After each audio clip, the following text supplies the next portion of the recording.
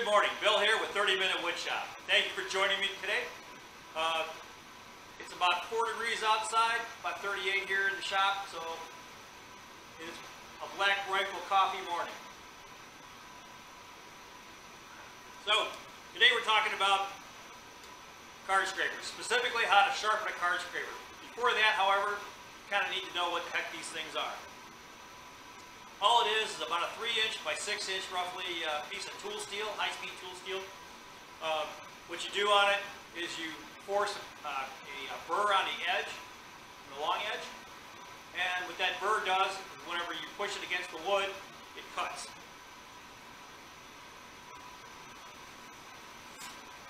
So you can see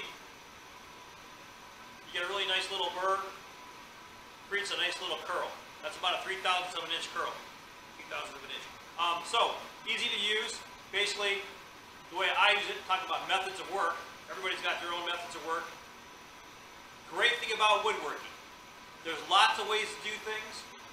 Just because you do it one way and someone does it another way doesn't mean your way is wrong or his or her way is better. Lots of ways to solve problems in woodworking. It's one of the great things about it. So, the way I do this, two, th two thumbs in the back, two fingers in the front, push forward slightly, create a, mild curve, about 70 to 80 degree angle. I'm holding it at 45 at the moment so you can see the curls that comes off on the one side. Um, doesn't have to be, normally I do it, I body on and square. So, you peel off curl. Great thing about this tool is the problem solver. Every toolbox should have one or two of these things. Once you learn how to sharpen it, use it, man, you'll be picking this thing up all the time. Um, great for popping off uh, uh, glue beads whenever you butt joint two pieces of wood together. It's great for uh, flattening out squirrely grain if you have little chip outs. Um, as I said, these are about uh, two to three thousandths thick, so you can do the, do the math as far as how many times you have to hit it. This will uh, dish a piece of wood pretty fast, all right? Uh, the downside of this sometimes is that if you're not accustomed to using it, need some, you do need some hand strength to do it more than a few times, um, so your wrist may get tired. But use it a little bit, you'll be good to go. You're using this, and it starts to make dust. It's not giving you curls, or it's giving you a curl here and there, a little bit of dust, curl. It's not sharp. You need to sharpen it. Super simple and fast to sharp. Sharpen, sorry. You only need a couple, couple pieces. Really all you need is a fine mill file. All right, this is a fine triangular mill file. It's actually a very purpose mill file. And a burnisher. That's really all you need. Uh, a lot of guys will do all kinds of different things. There's all kinds of tools in the market you can use. Uh, I think I think Veritas or Lee Valley makes a actually it's a pretty nice looking little tool, uh, all in one and a you know integrated burnisher and blah blah blah. Um, you can do all that kind of stuff. All you really need are two things a good fine mill file, and a burnisher. Take this happens really, or uh, you can sharpen this really fast. So you can sharpen with these two tools really fast. Let's take a look.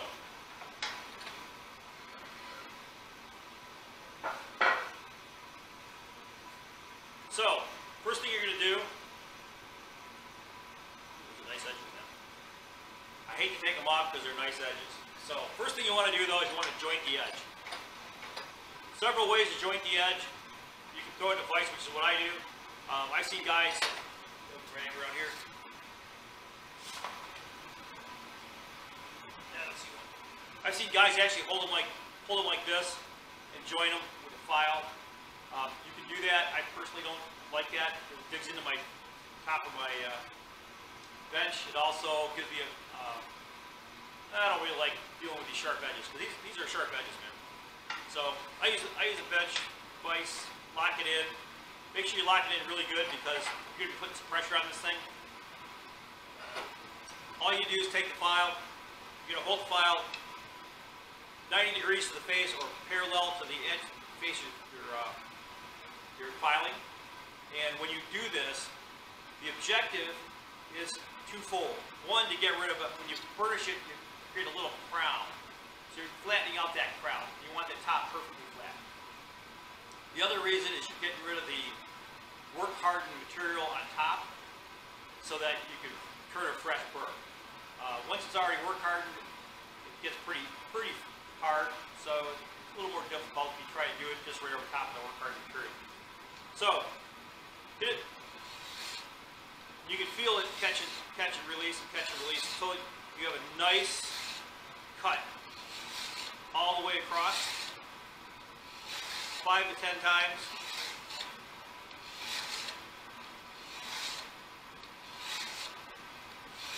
Be, as I said, be careful these corners. You know, if I cut like the pad of my uh, thumb here on this corner, yeah, that would hurt. I'd be bleeding. So, a few times like this, you can feel when the file finally finally hits its stride and actually is cutting the entire length. By that time, you've gotten off all the uh, all the work hard material and taken the crown down. So it doesn't take that much. You're not taking off. You're only taking off a few thousandths of an inch. Next thing you want to do with this is you want to get rid of the burr that's left over here and anything that might have been left over by the file. So, easy way to do that,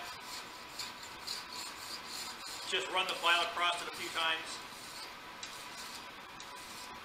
Again, so here's the deal about files. Never pull a file backwards. Always forward. You only cut in the forward stroke. Pulling a file backwards, all that does is, is dull the little teeth. And all the file is is a whole bunch of little teeth. So, hit them a couple times. And again, you can kind of feel for that bridge, that burr. One, one or two more times, very gently across the top in case you roll the burr back. And you're done. Now at this point, you'll find a lot of guys swear by using a, a stone. And they'll use a stone to, to uh, polish the edge, and they'll do all this great stuff. I'm not saying it's wrong. All I'm saying is you don't necessarily need it. I never needed it. Still don't. Um, if you're going to do that, however, never run, never run, never run the edge on the face of the stone. Always run it on the side of the stone. Okay?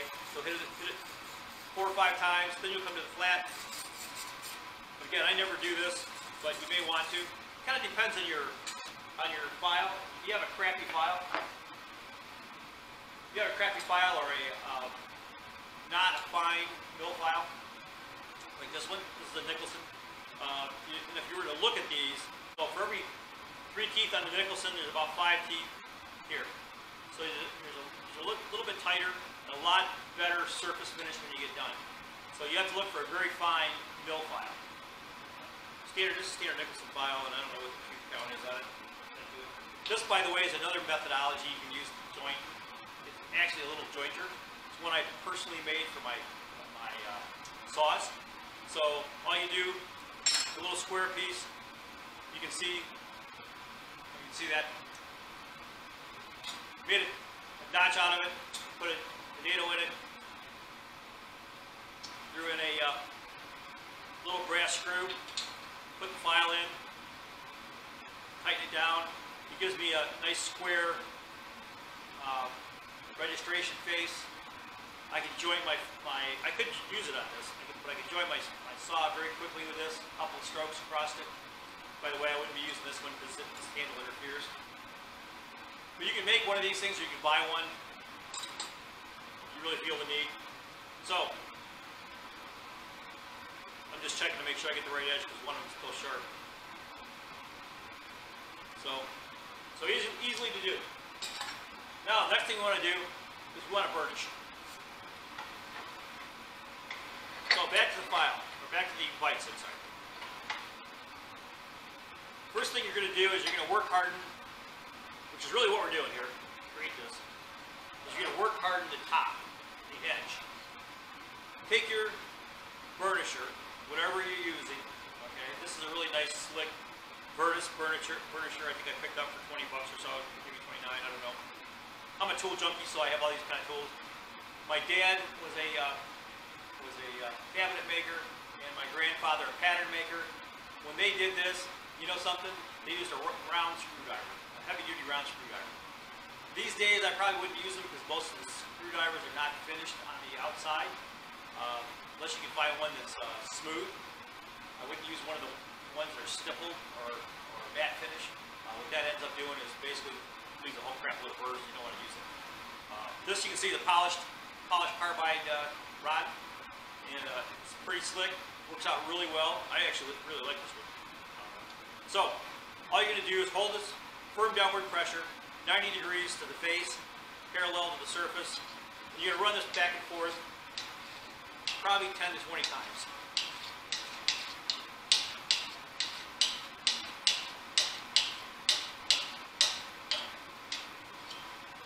Good firm downward pressure. So all you're doing is starting, starting to set the, um, work hardening on this top surface. Okay? I think Paul Sellers calls it conditioning. So, there's no, no burr yet. All we've done is flatten that out. Next thing I want to do, actually let's pull in tight.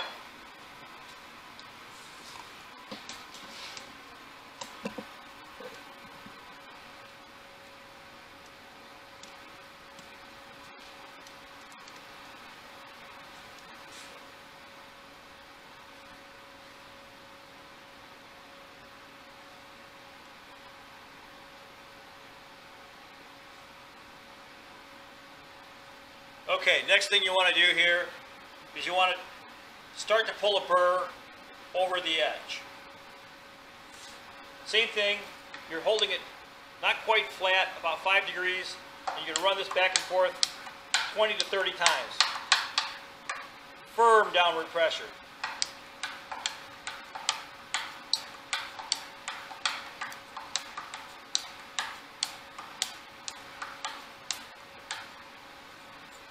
Flip it over, you do the same thing. So what you're trying to do here is effectively, if you look down the edge with a microscope, you'd see a little bit of a U.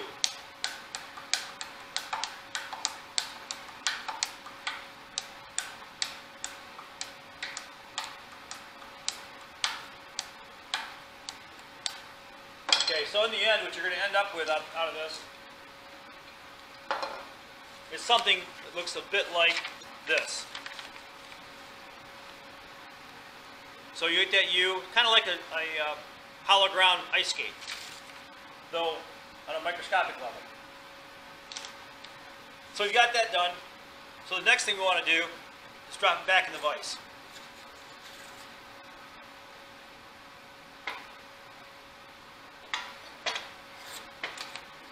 So the next thing we want to do is drop it back in the vise.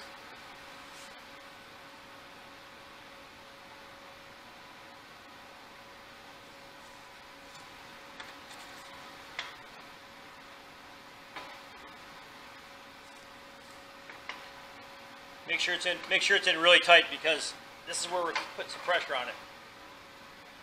Okay, you should have been putting pretty good pressure on the other, the other uh, bases of this. This one you're going to really bear down. So first thing we're going to do. Now you have that U. I want to flatten that U out. So again, about 20 times.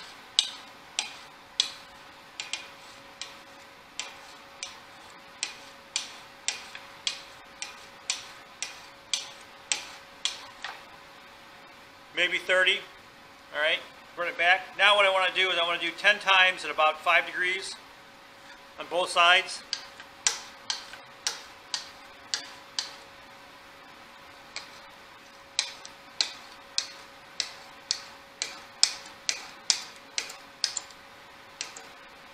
All right, now I want to go to about 10 degrees or 15 degrees.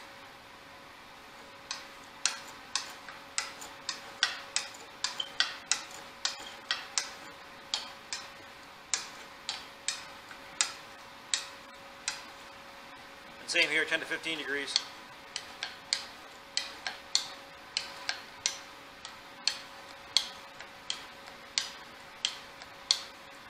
What this does, is this sets up a curl. So it'll be a mushroom top with a curl. And basically what you're going to get is something that looks like you can see this.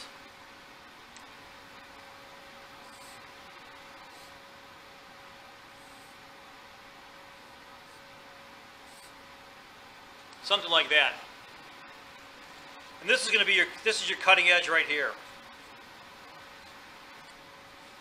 And those are, per, those are really small, I'll tell you what. So, pull it out. We should be able to feel the, feel the, uh, my hands are pretty cold here. Yeah, that's a pretty good burr. So you should feel a pretty good burr.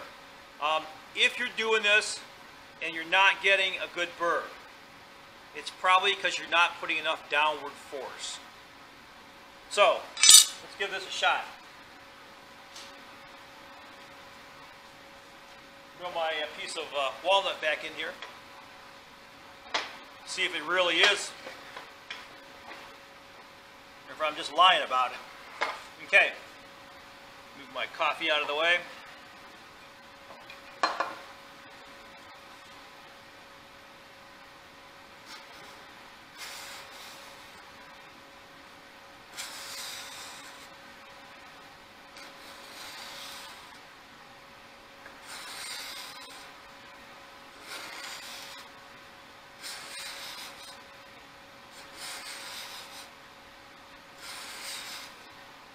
So you see those curls?